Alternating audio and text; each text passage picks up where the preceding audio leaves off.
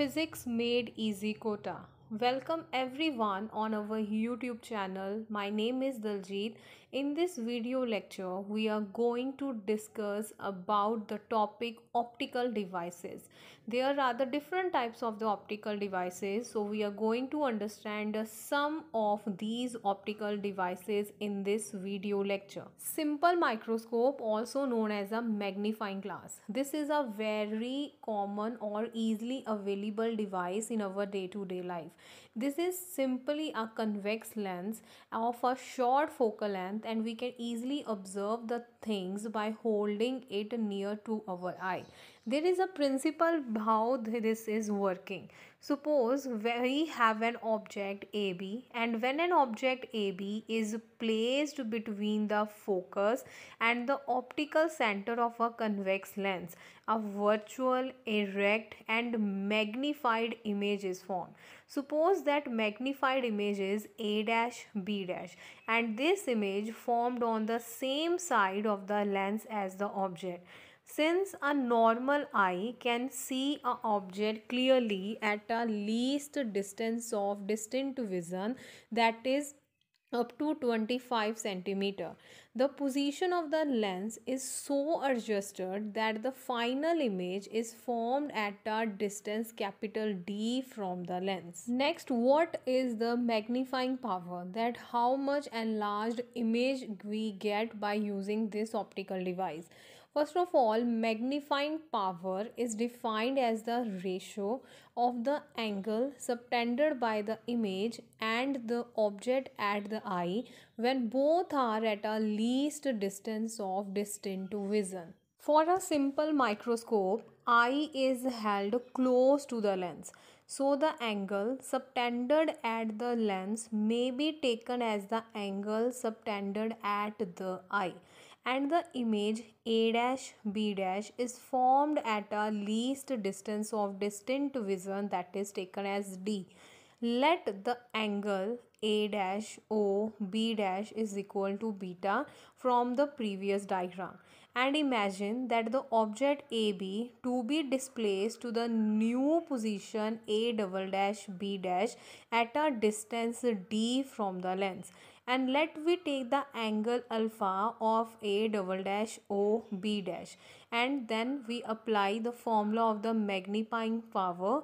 And the magnifying power we express in the form of the angles. And that is the beta divided by alpha.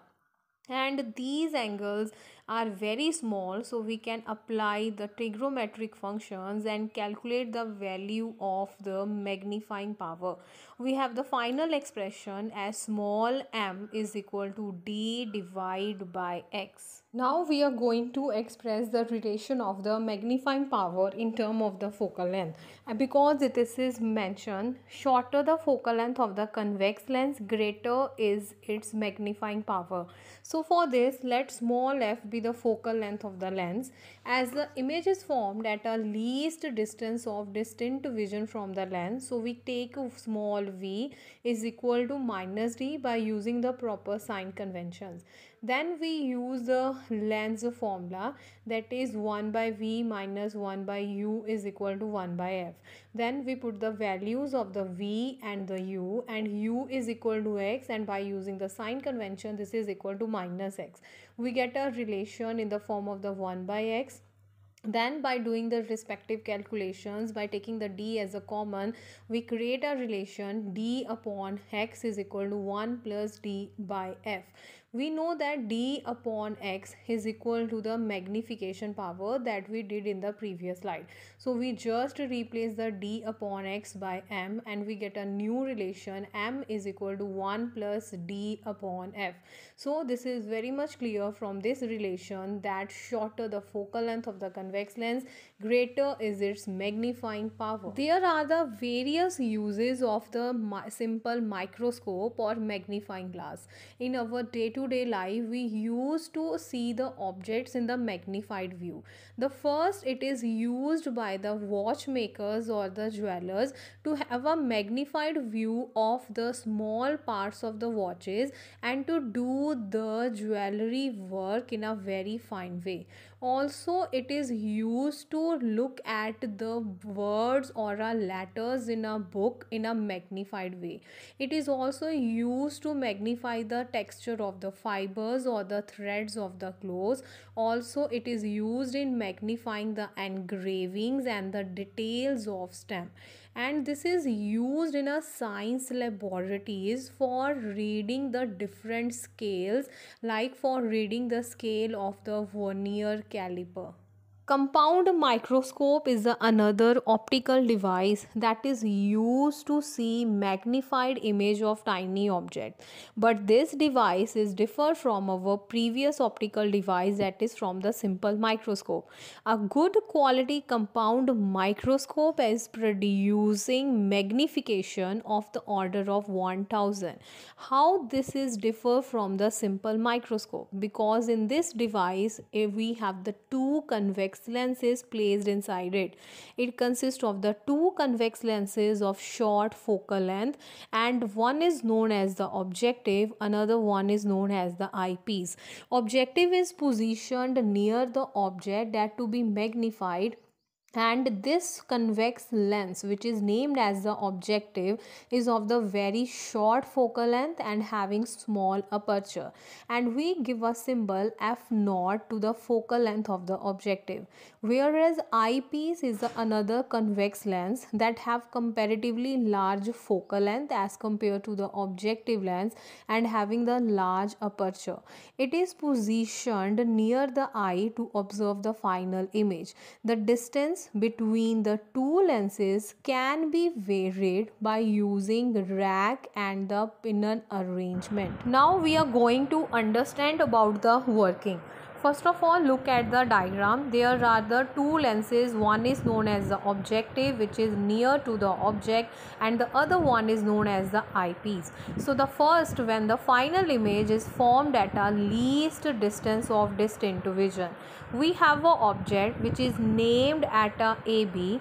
This object to be viewed at a place at a distance mu naught slightly larger than the focal length f naught of the objective. The objective form a real, inverted and magnified image a dash b dash of the object AB on the other side of the lens O that is on the other side of the objective lens and this is also shown in the diagram. The separation between the objective and the eyepiece is so adjusted that the image A dash B dash lie within the focal length FE of the eyepiece. The image A dash B dash then act as the object for the eyepiece which act as a simple microscope. The eyepiece form a virtual, magnified and the final image A double dash B double dash of the object AB and this is also clearly observed in the diagram that the final image A double dash B double dash is inverted with respect to the object AB. Now about the magnifying power of a compound microscope. This is the ratio of the angles.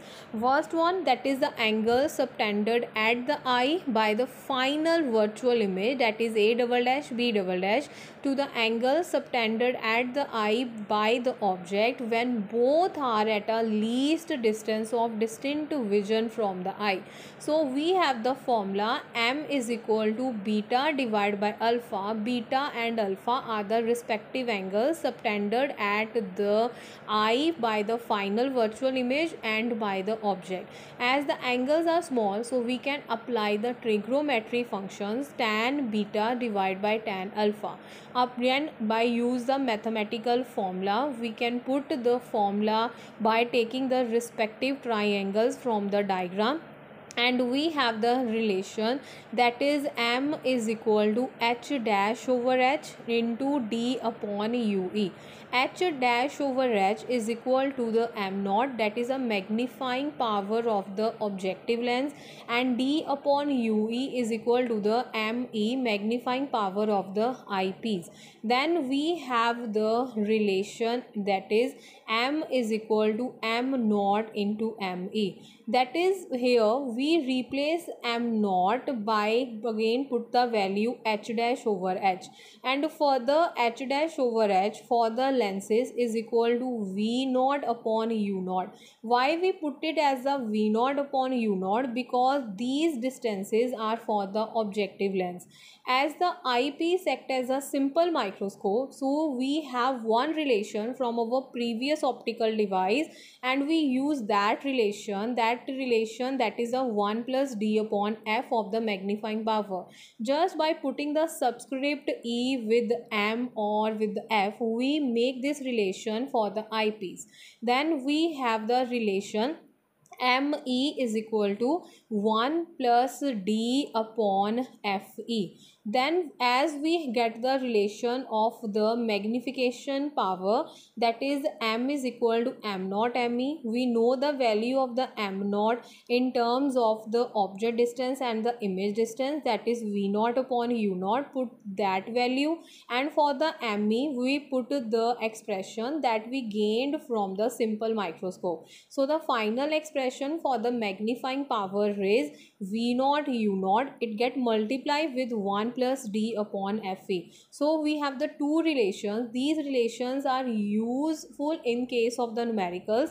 That is m can also be written as m naught me and m can also be written in terms of the v naught upon u naught multiplied by 1 plus d upon fe now as the object AB is placed close to the focus F naught of the objective. So this is regarded as a special case. If such a thing occur, then we just replace the U naught with the F naught and we know that the focal length for this case is taken as the negative by using the respective sign conventions. So we get a relation that just get in the form of the F naught by replacing the U naught and also the image A dash B dash is formed close to the lens whose focal length is short. Then what we do we just change the value of the v naught to the l. That is the length of the microscope tube or the distance between the two lenses. So we get a new formula m naught that is earlier equal to v naught upon u naught now get changed to l upon minus f naught so put the value of the m naught in the expression of the magnifying power of the compound microscope we get a new relation in the terms of the length of the microscope tube. So small m is equal to minus l divided by f naught. It is multiplied with 1 plus d upon fe so this is for the magnifying power of the compound microscope. Now the second case when the final image is formed at infinity by a compound microscope. This is possible only when the image A dash B dash lies at a focus of the eyepiece that is F dash E. It is clearly observed in the given diagram and also one more condition that is UE is now equal to the FE. So after following this these conditions we get a final image at the infinity. And the magnification due to objective that is m naught is equal to h dash over h that is also further equal to l upon minus of f naught. Why we replace the word e with an o? Because this is a magnification due to objective. So we have to follow all the subscripts with the o that denotes the objective and the angular magnification due to eyepiece is given by the expression me that is equal to d upon fe these expression we already understand in the previous slides and then the total magnification. By using the formula m is equal to m naught on to me just put the value we get the final expression minus ld divided by fofe so obviously it is clear. Magnifying power of a compound microscope is large when both FO and FE are small because they are very inversely with each other. Now the next optical device is the astronomical telescope. This device enable us to see distant object clearly. It provide an angular magnification of the distant object This device is a refracting type telescope that is used to see heavenly bodies like stars, planets, satellites, etc. So now we are going to study how this device is working. There are again the two cases. The first case when the image is formed at the least distance of distant vision and uh, next of course the second case will be when the image formed is at infinity. So firstly we are going to understand the case number 1 when the final image is formed at a least distance of distant vision so first of all look at the diagram and we, you can clearly observe that from the diagram it is clear a parallel beam of a light coming from the distant objects fall on the objective at some angle let that be alpha. The objective focus the beam in its focal plane and form real inverted and diminished image that is a dash b dash. Then this image a dash b dash act as an object for the eyepiece. The distance of the eyepiece is so adjusted that the image a dash b dash lie within its focal length. Then the eyepiece magnify this image so that the final image a double dash b double dash is magnified and inverted with respect to the object. And the final image is seen uh, by the eye at the least distance of distant vision. Now what about the magnifying power? Again the magnifying power deals with the angle subtended by the eye at the final image or at the at the object so the magnifying power is a ratio of the angle subtended at the eye by the final image that is forming at a least distance of distant vision to the angle subtended by the eye by the object at infinity when seen directly.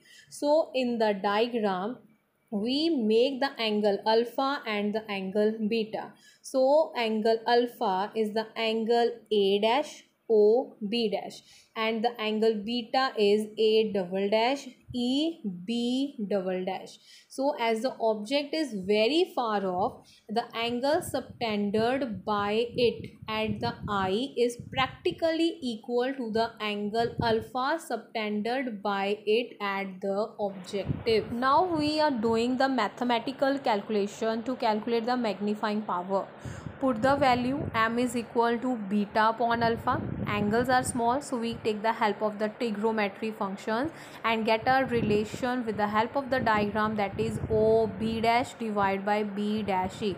Then we use a cartesian sign conventions and we found that m is equal to minus fo divided by ue again for the eyepiece if you observe the diagram u is equal to minus of ue and v is equal to minus d because the final image is forming at a least distance of distant vision but take care of the Cartesian sign conventions and introduce the negative signs. Then we use a formula 1 by V minus 1 by U is equal to 1 by F and put the values in this formula. So firstly we put the values of the U and the V then we do the respective calculation and create a formula for the 1 upon UE. Then we take 1 upon FE as a common and create a new formula for the 1 upon UE. We have to calculate the answer for the magnification and we get that magnification is equal to minus of FO over UE in our previous slide. So just put the value of the UE in terms of the FE. So we have the answer for the magnification m is equal to minus of FO over FE multiplied by 1 plus fe divided by d.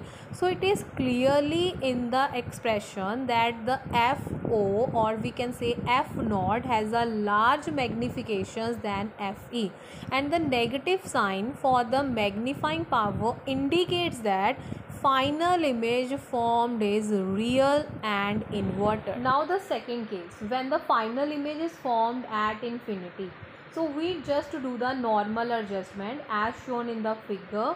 When a parallel beam of light is incident on the objective it form a real inverted diminished image a dash b dash in its focal plane. The eyepiece is then so adjusted or we can adjust eyepiece that the image a dash b dash exactly lie at its focus and it is clearly shown in the given diagram so the final image then formed at, at infinity by following this condition and the final image which is forming at infinity is highly magnified and inverted with respect to the object. So now we are going to calculate the magnifying power by using the formula m is equal to beta upon alpha. So the thing which angle is taken as uh, beta, which angle is taken as alpha as the object is very far off. So the angle subtended by it at the eye is practically equal to the angle alpha subtended by it at the objective. So we take alpha as the angle which is a dash o b dash and the beta is equal to angle a dash e b dash. Then we take the help of the trigonometry functions as the angle alpha and beta are small and we get m is equal to o b dash divided by b dash e then we check from the diagram apply the sign conventions and we found that o b dash is equal to plus f naught and b dash e is equal to minus f e. Clearly this is having the large magnification as f naught is very very greater than f e. But in the magnification there is a negative sign. So just remember whenever there is a negative sign it indicates that image is real and inverted